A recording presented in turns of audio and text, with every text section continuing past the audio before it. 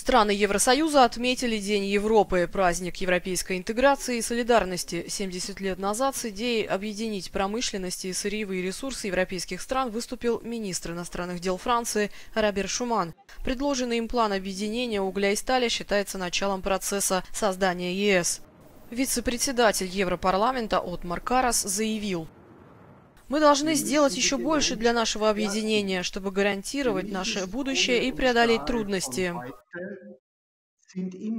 Мы должны усилить наше объединение угля и стали. Мы должны решить вопросы равенства, здравоохранения, правосудия и социальной сплоченности. Сегодня в этом нуждается Европа.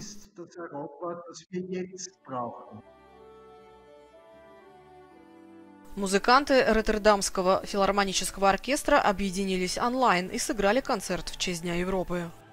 В Будапеште ученики балетной школы Мадач и известные танцоры собрались на специальный перформанс. Чтобы не нарушать правила социального дистанцирования, в качестве партнеров они выбрали памятники.